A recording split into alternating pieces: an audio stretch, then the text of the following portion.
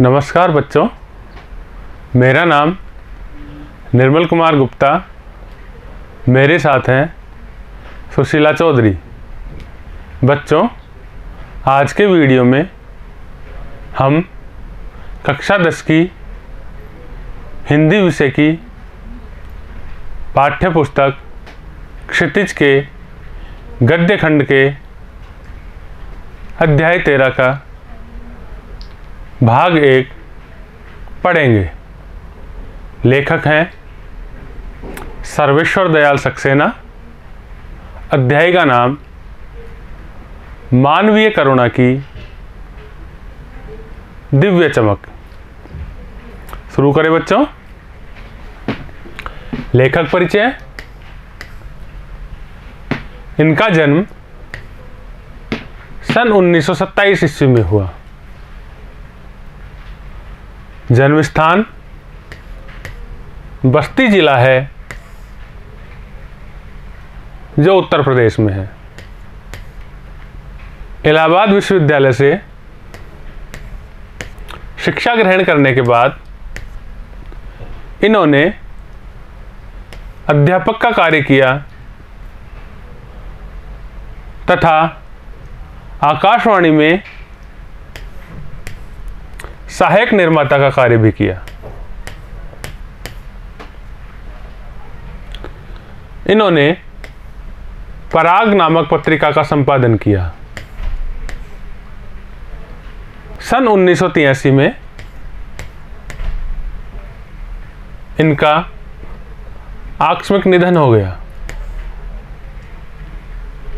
पाठ का सार,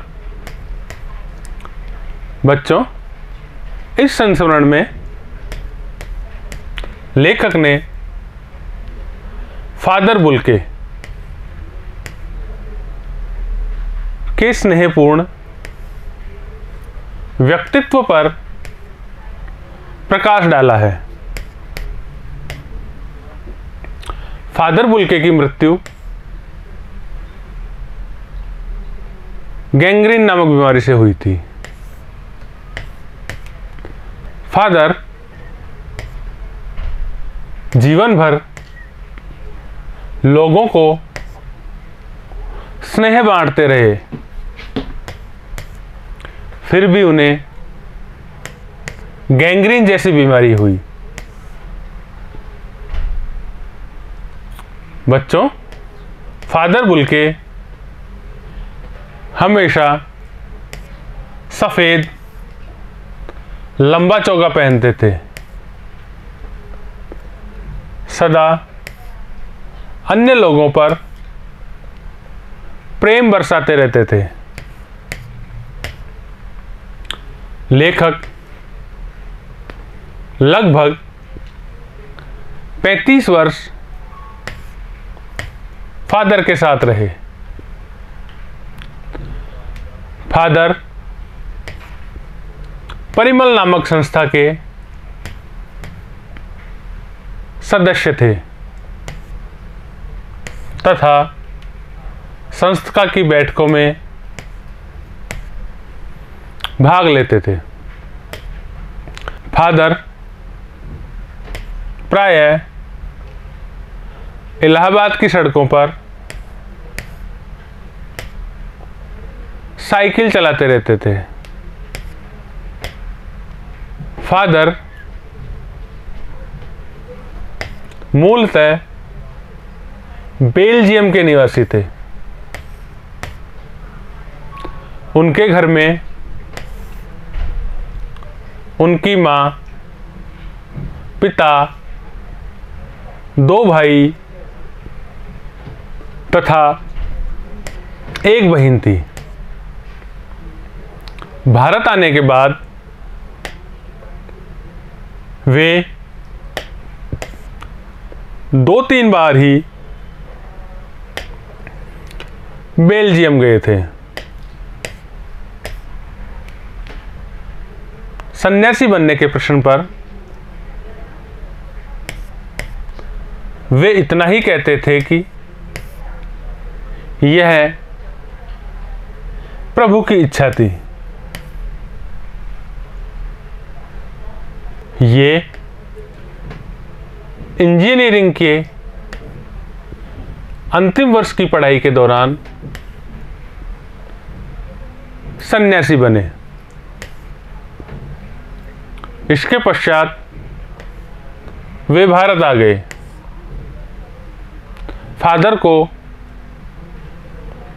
हिंदी भाषा से बहुत प्रेम था। भारत आने के बाद फादर ने पादरियों के साथ धर्म की शिक्षा ली।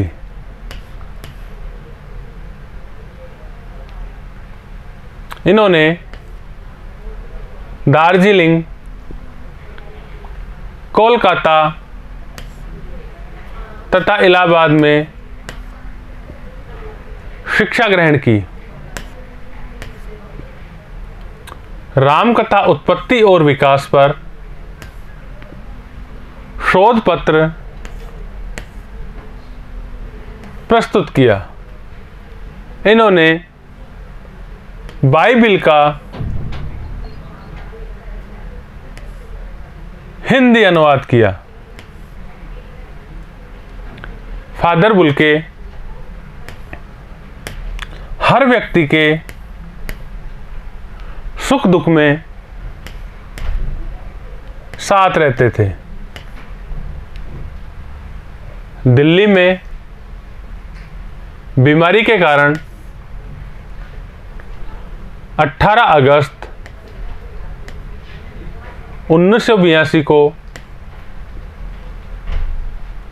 उनकी मृत्यु हो गई।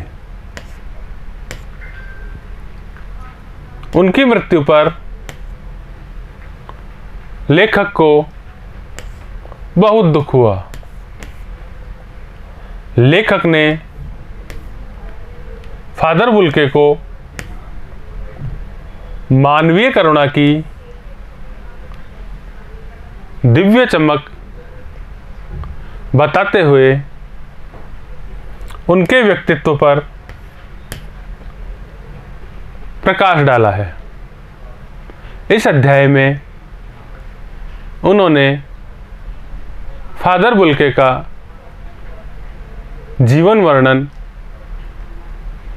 किया है। बच्चों, ये था इस अध्याय का सार। इसे आप वीडियो में बार बार देखें, समझें और याद करें। धन्यवाद।